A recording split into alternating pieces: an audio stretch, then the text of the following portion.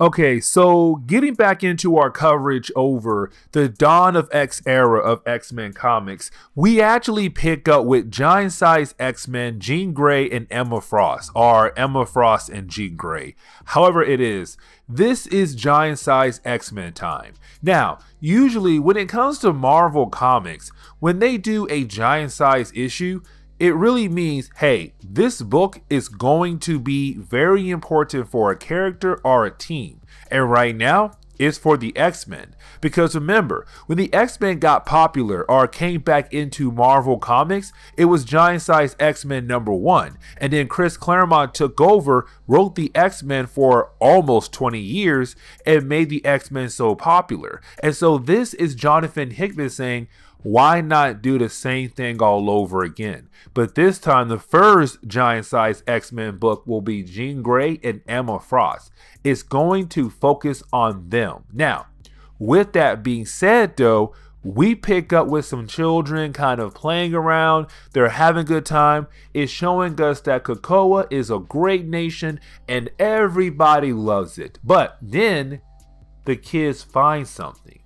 And what they find is somebody who looks like they're dying. And that person is Storm. And that right there is scary and very huge.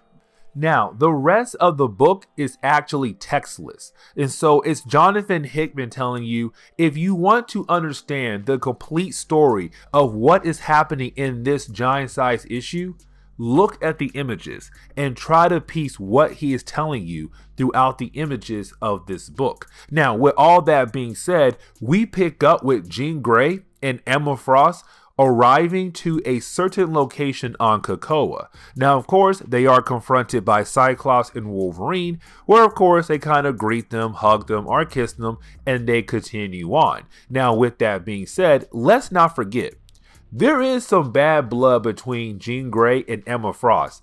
And a lot of that bad blood comes from Cyclops because once Jean Grey was gone and removed from Marvel Comics, Cyclops went on to date Emma Frost. And of course, when Jean Grey came back, that whole love for Emma Frost went away.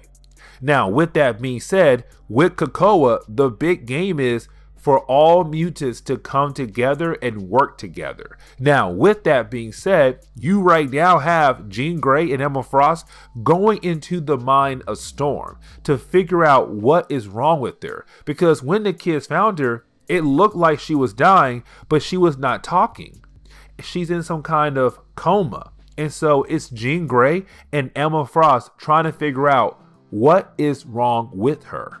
Now, once Jean Grey and Emma Frost are able to enter the mind of Storm, this is the moment you have Jonathan Hickman really shows that when it comes to a character's mind, their mind is basically set on how they grew up.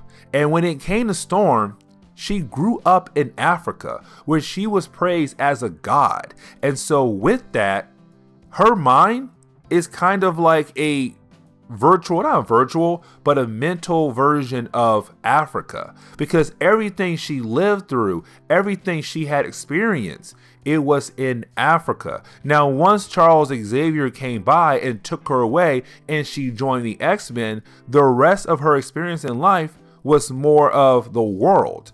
But for the first 20, 25 years of her life, it was in Africa.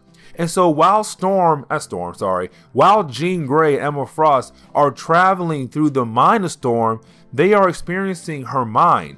Her mind being a mental version of Africa. Now, they do run into different kinds of enemies, but of course, it's Emma Frost and Jean Grey being able to overcome those threats because it's also Jonathan Hickman telling us Jean Grey and Emma Frost are two of the most powerful psychics in all of Marvel Comics. Not just the mutant race, but all of Marvel Comics. And that is huge to say because these two characters were once rivals, but now they're using their powers coming together to actually help out a friend because Emma Frost and Storm have become friends thanks to the Marauders comics, especially with the death of Kitty Pryde. Now, with all that being said, this book, this video is going to be short because it's just Jonathan Hickman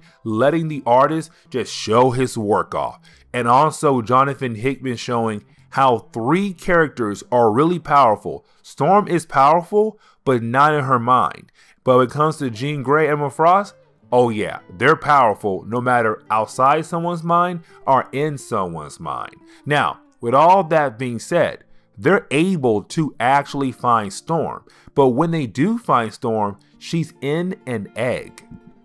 Now, with her being inside this egg, it's Jonathan Hickman kind of telling us that this is how mutants come back to life.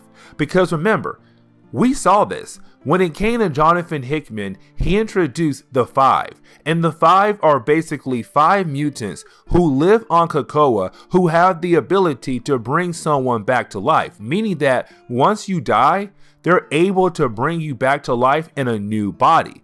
But that new body has to grow.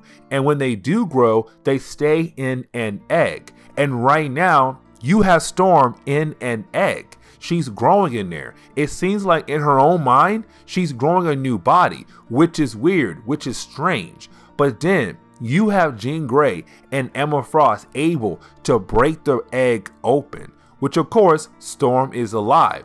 And so it's kind of like Jonathan Hickman saying she was not creating a new body in her mind, but maybe a new mind for her body. We don't know. But as soon as she comes out of this egg, you have Jean Grey, Emma Frost walk over to her. And when they do, they're able to kind of break apart her skin in her mind, which is creepy. But even creepier is there is a timer on her forehead. And this timer is predicting something. And we have no idea what the countdown's for.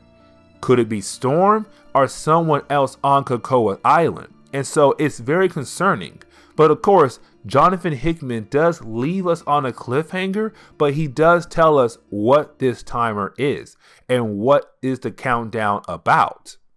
Now, with that being said, you do have Jean Grey and Emma Frost walk out the room they were in when they entered the Mine of Storm, where of course they are confronted by Cyclops and Wolverine once again. Now, this is a very huge moment because once they do walk out, you do have Jean Grey and Emma Frost tell Cyclops and Wolverine what is going on, and that basically Storm is going to die in 30 days because the children of the vault gave her some kind of machine virus.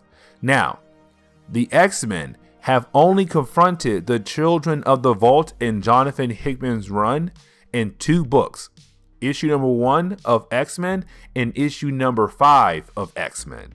And so, in those two books, somewhere, Storm got a virus, and that virus is killing her but this is where we are going to end today's comic book video. So please leave me a like down below and subscribe. Also, if you have any suggestions on books I should read, well, please let me know in the comments below because you never know, your suggestion could be a future video down the road. Later, guys.